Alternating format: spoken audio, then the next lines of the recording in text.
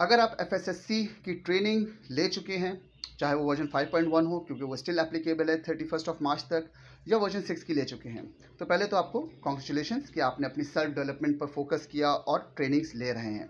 लेकिन क्या आपको एफएसएससी स्टैंडर्ड के तमाम पार्ट्स का तमाम स्टैंडर्ड्स का कंपोनेंट्स uh, का आइडिया हो चुका है? नॉर्मली स्टैंडर्ड्स uh, जो हैं ISO 22000 ISO TS specifications and additional requirements more focus जो है वो पार्टिसिपेंट्स का लर्नर्स का ट्रेनर्स का होता है on ISO 22 and ISO TS but additional requirements जो है वो नॉर्मली ओवरलुक हो जाती हैं या उतनी डिटेल से नहीं पढ़ाई जाती और पढ़ी जाती ट्रेनिंग uh, के दौरान। रीज़न ऑब्वियस होते हैं टाइम लिमिट लिमिटेशंस होती हैं तो तमाम चीज़ों को in detail line by line नहीं पढ़ाया जाता।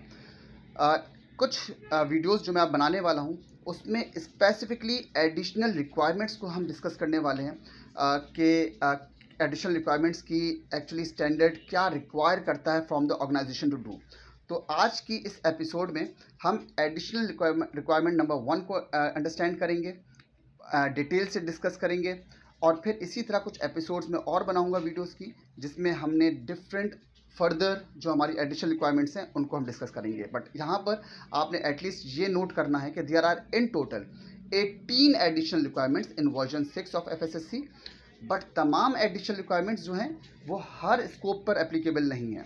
देयर आर डिफरेंट स्कोप्स मैं आपको वो चार्ट जो है वो अभी आपको स्क्रीन पर भी दिखा दूँगा कि there are different scope and food product categories और उस कैटेगरीज के हिसाब से हमें 18 में से उन एडिशनल रिक्वायरमेंट्स को सिलेक्ट करना होता है। तो अगर आप मैन्युफैक्चरिंग में हैं तो आप पर सर्टेन एडिशनल रिक्वायरमेंट्स अप्लीकेबल होंगी। अगर आप पैकेजिंग फर्म से बिलोंग करते हैं तो आपको सर्टेन जो है वो एडिशनल रिक्वायरमेंट्स अप्लीकेबल होंगी और लाइकवाइज दूसरे सेक्टर्स के लिए भी। वेरी क्विकली uh, uh, हम स्टार्ट कर रहे हैं clause number one of additional requirement which is 2.5.1 which is management of services and purchase material note कीजिए कि सिर्फ़ पाँच रिक्वायरमेंट्स हैं पाँच क्लॉजेज हैं पाँच सब रिक्वायरमेंट्स हैं इस 2.5.1 which is the first additional requirement और जहन में रखिएगा एडिशनल रिक्वायरमेंट्स वो रिक्वायरमेंट्स होती हैं जो आईसो 22000 या ISO T S twenty two two X series में मिसिंग होती हैं।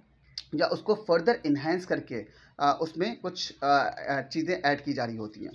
तो ये जो क्लॉज 2.5.1 है एडिशनल रिक्वायरमेंट ये एक्चुअली डिटेल्ड फॉर्म है या एक्स्ट्रा फॉर्म है या एडिशनल फॉर्म है। Clause 7.1.6 of ISO 22000 and 9.1 of ISO T S twenty two thousand two dash one basically वहाँ पे ये चीज़ें मिसिंग थी या अच्छे से डिफाइंड नहीं थी उस रिक्वायरमेंट को तो एडिशनल रिक्वायरमेंट में एफएसएससी स्कीम ने ऐड किया।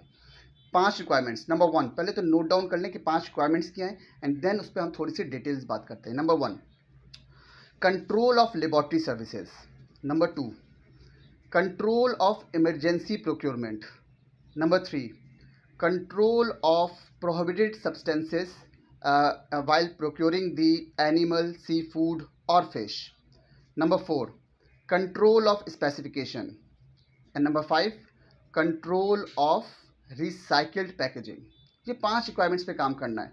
बट सारी रिक्वायरमेंट्स से पहले लिखा हुआ है कि ये ये वाली रिक्वायरमेंट उस प्रोडक्ट स्कोप के लिए। तो ये देखना बहुत ज़रूरी है कि मैं किस कैटेगरी में आता हूँ और क्या ये वाली लाइन ये वाली रिक्वायरमेंट क्या मुझ पर एप्लीकेबल हो रही है या नहीं हो रही। लेकिन in total 2.5.1 management of services and purchase material के अंदर पाँच रिक्वायरमेंट्स हैं, पाँच लाइन्स हैं। वेरी क्विकली डिस्कस करते हैं। Number one laboratory services control of laboratory services अगर आप लैब एक्टिविटीज़ यूज़ कर रहे हैं आइदर इंटरनल और एक्सटर्नल उस लेबॉर्ट्री सर्विसेज़ के रिजल्ट्स एक्यूरेट होने चाहिए ऑथेंटिक होने चाहिए। फॉर दैट पर्पस जो रिक्वायरमेंट है, वो आपको खुद बताती है कि आपके पास ये चीज़ें होनी चाहिए उस लैब के लिए। या तो वो seventeen zero two five accredited हो, कोई लीगल रिक्वायरमेंट फुलफ़िल करती हो वो lab recognise test methods use करती हो प्रोफेशनसी टेस्टिंग में इन्वॉल्व हो एट्सेट्रा एट्सेट्रा तो आप अगर अपनी इंटरनल लैब से टेस्टिंग कर रहे हैं एक्सटर्नल लैब के लिए टेस्टिंग एक्सटर्नल लैब यूज़ कर रहे हैं फॉर वेरिफिकेशन और वैलिडेशन एक्टिविटीज़ तो आपके वो टेस्ट रिजल्ट्स कैसे एक्यूरेट हैं, आपको ये प्रूफ करना है एविडेंस देना है. That is the requirement number one of two point five point one two point five point two emergency procurement क्यों ऐड की गई? कोविड की सिचुएशन में आ, जब ये परचेजिंग बैन हुई इंपोर्ट्स और एक्सपोर्ट्स के लिए इश्यूज़ हुए आ, जो सरहदें हैं जो बाउंड्रीज़ हैं वो क्लोज़ की गई। तो इंडस्ट्रीज़ को फ़ूड इंडस्ट्रीज़ को ये प्रॉब्लम क्रिएट हुई कि किस तरह हम अपने अप्रूव सप्लाई लिस्ट से परचेजिंग करें।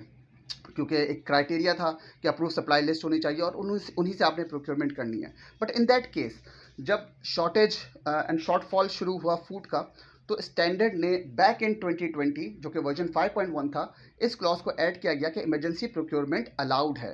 इनक्रेज नहीं है, खुशी से नहीं करना, लेकिन जहाँ आपके पास रिस्क बेस्ड अप्रोच के बाद आपको ज़रूरत है इमरजेंसी प्रोक्योरमेंट की तो it is allowed now but you have to have a proper receiving inspection criteria and control on receiving products तो उस इजाज़त के बाद आपने मैक्सिमम कंट्रोल लगाने हैं जब प्रोडक्ट आपके पास रिसीव होगी। That is the second requirement of 2.5.1 number three जो सब्सटेंसेज हैं जो कि प्रोहिबिटेड सब्सटेंसेज हैं while you are procuring any animal fish और सी फ़ूड उन पर कंट्रोल रखना है।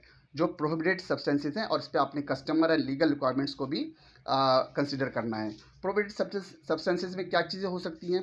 कोई फार्मास्यूटिकल ग्रेड केमिकल हो सकता है पेस्टिसाइड्स हो सकते हैं हैवी मेटल्स हो सकते हैं बट ये सिर्फ़ और सिर्फ़ एनिमल सी फ़ूड और फ़िश कैटेगरी के लिए आप पर एप्लीकेबल है। नंबर फोर्थ जो आपकी स्पेसिफिकेशंस बनी हुई हैं, चाहे वो रॉ मटेरियल की बनी हुई हो, चाहे फिनिश प्रोडक्ट की बनी हुई हो, और ये बनाना ज़रूरी है, क्योंकि आपको खुद आइडिया है कि हैसअप का जो स्टेप नंबर टू है, वो कहता है कि आपने स्पेसिफिकेशंस बनानी है, आपने finish product raw material characteristics बतानी है। तो वो करेक्टरिस्टिक्स जो आप बना चुके हैं, वो लाइफ टाइम करेक्टरिस्टिक्स नहीं है। उसको आपने रिव्यू करते रहना है कि क्या वो स्टिल एप्लीकेबल है या नहीं है। तो वो रिस्क बेस्ड जो है रिव्यू होना चाहिए।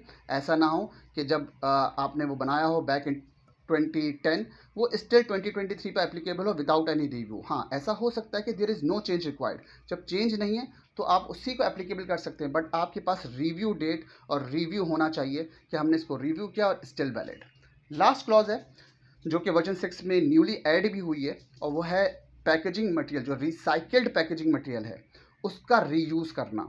तो ये एप्लीकेबल है सिर्फ़ और सिर्फ़ पैकेजिंग इंडस्ट्री के लिए, वो स्कोप जो सिर्फ़ पैकेजिंग मैन्युफैक्चरिंग कर रहे हैं। रिसाइकिल जो आप पैकेजिंग मटेरियल को रिसाइकिल कर रहे हैं रीयूज़ कर रहे हैं, उसका क्राइटेरिया इस्टेब्लिश करना है और उस क्राइटेरिया में लाजमी तौर पे लीगल रिक्वायरमेंट्स को और कस्टमर रिक्वायरमेंट्स को भी कंसीडर करना है कि क्या कोई वॉयलेशन तो नहीं हो रही, क्या कस्टमर ने कोई ऐसी बात तो नहीं की हुई कि हमारा जो रॉ मटेरियल होना चाहिए in order to make this product finish product for them उसका ये क्राइटेरिया होगा और जब हम रिसाइकल मटेरियल यूज़ कर रहे हैं तो वो उसको कंप्लाई ना करता हो। सिमिलरली लीगल रिक्वायरमेंट्स को भी कंसिडर करना है कि उन्होंने क्या कहा हुआ है कि जो रॉ मटेरियल होना चाहिए पैकेजिंग मटेरियल की मैन्युफैक्चरिंग में, वो कैसा होना चाहिए? क्या रिसाइकिल्ड मटेरियल उस पर अप्लाई होता है या नहीं होता? तो आपने इसका एक क्राइटेरिया स्टैब्लिश करना है, जो कि रॉ मटेरियल के लिए तो आप करते ही करते हैं, लेकिन रिसाइकिल अगर हो रहा है तो आपने ये करना है। अदरवाइज़ अगर रिसाइकिल मटेरियल को रीयूज़ नहीं किया जा रहा तो ये क्लॉज आप पर नॉट एप्लीकेबल होगी। इस एपिसोड में मैंने क्विकली आपको 2.5.1 management of services and purchase material को एक्सप्लेन किया। अगली एपिसोड्स में मैं नेक्स्ट जो हमारी 18 फर्दर जो 17 रिमेनिंग लीगल रिक्वायरमेंट्स हैं एडिशनल रिक्वायरमेंट्स हैं, उन पर मैं डिस्कस करूँगा। Thank you so much for watching this video give me your feedback on YouTube channel thank you